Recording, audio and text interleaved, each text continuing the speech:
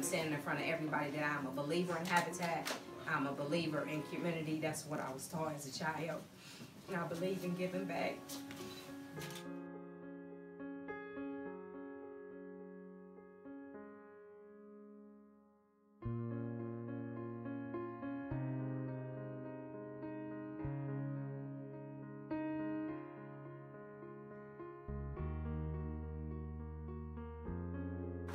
Y'all just don't understand what this means for me and my family.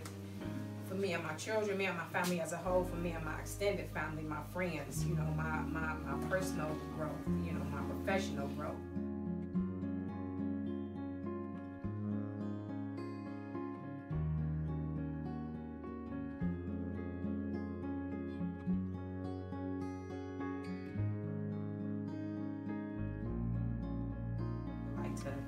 Um, opportunity and you know um, just just believing in us that we can.